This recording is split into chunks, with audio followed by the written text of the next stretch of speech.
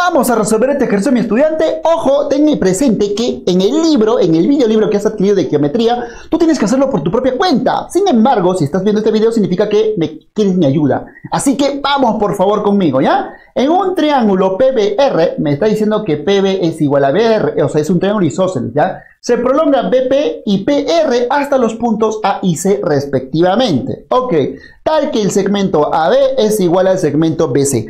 Allá la medida del ángulo PCA, si la medida del ángulo RBC es igual a 30. Ok, vamos a empezar por partes. Dibujemos ese triángulo isósceles, ¿ya? A ver, ayúdame por favor. Vamos a dibujar el triangulito isósceles. Por ejemplo, yo voy por aquí, ajá, hasta aquí y luego me voy por aquí y voy hasta acá. A ver, para este triangulito que es isósceles voy a colocar las marcas. PB es igual a BR. A ver, PB, acá vamos por acá. P, B y R. ¿Estamos de acuerdo? Son iguales, así que le coloco un puntito, le coloco un puntito por acá. Perfecto. Ok, me voy, voy, voy avanzando, voy avanzando. Dice, se prolonga BP. Se prolonga BP. Uf, ya, voy a prolongar hasta donde pueda. Ahora voy a prolongar el segmento PR, ¿ok? El segmento PR. Así que de la misma forma vamos a prolongar. Ayúdame, por favor, ayúdame. Vamos por aquí. Voy a seguir prolongando hasta aquí, digamos, ¿no? Es que no tengo idea hasta dónde tengo que prolongar, así que me apoyo, ¿no? Voy haciendo estas líneas así un poquito más largas, exageradas, vamos a ponerlo así, ¿ya? Ok, hasta los puntos A y C. Bueno, ahorita voy a colocar esos puntos, ¿ya? Porque no sé dónde exactamente van a ir. Tal que dice que el segmento AB es igual al segmento BC. El segmento AB es igual al segmento BC. Ok, ya me da una idea, ¿no? Ya me da una idea. Así que por aquí voy a ubicar al punto al punto A, ¿ya? Y por aquí voy a ubicar al punto al punto C. Voy a unirlos, ¿ah? Porque me dice que el segmento AB es igual al segmento BC. Así que lo voy a unir, por favor. A ver, vamos por acá a ver qué tal lo hago. Ya está. Listo, ya lo uní. Ahora también voy a unir el segmento AC porque ahorita te vas a dar cuenta, me piden un angulito muy especial, ¿no? Allá la medida del ángulo PCA. PCA, ¿no? Me piden ese angulito que está acá, pero voy a dibujarlo primero, ¿ya? A ver, de aquí me piden un segmento hasta aquí. Listo, ¿no? Al cual a ese angulito yo le voy a llamar X. Ahí está, me pide esa X. Chévere, mi estudiante. Vamos ahora sí a colocar nuestros datos, por favor, para que tú mismo te des cuenta. A ver.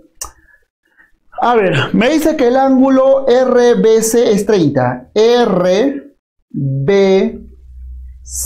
¿no? Es 30. Este angulito es 30. Vamos por acá le coloco 30, ¿ya?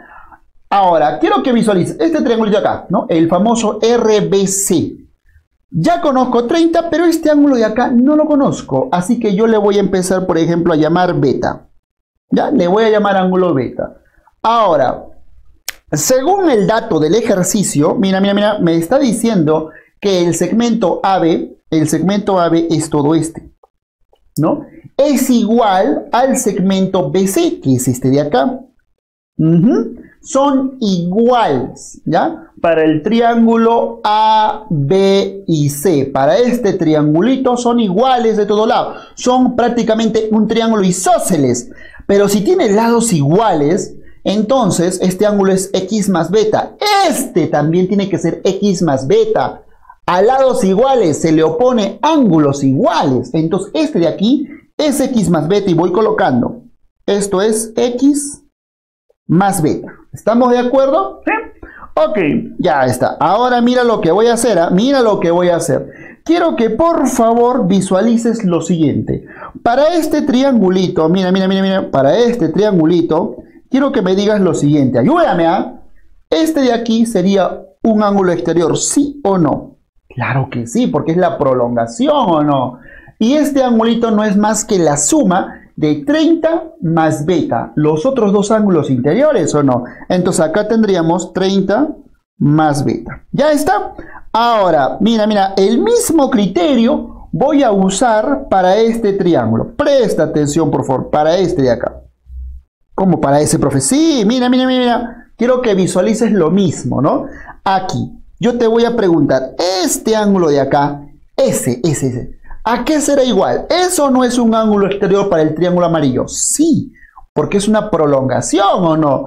Entonces debe ser igual a la suma de los otros dos ángulos interiores o no. Acá tienes x, acá tienes x más beta. x más x es 2x, 2x más beta sería acá o no. Esto es 2x más beta. ¿Estamos de acuerdo? ¿Sí?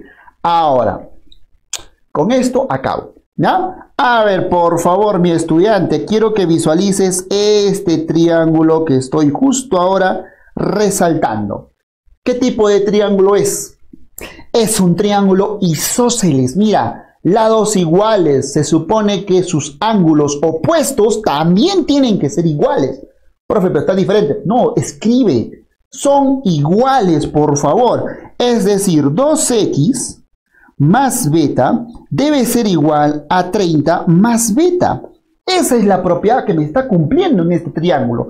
Y ahora no me dejarás mentir frente a frente. Beta con beta se cancelan entre sí o no, quedándome 2x igual a 30. Este 2 va a pasar a dividir al 30. Es decir, x es igual a 15 graditos.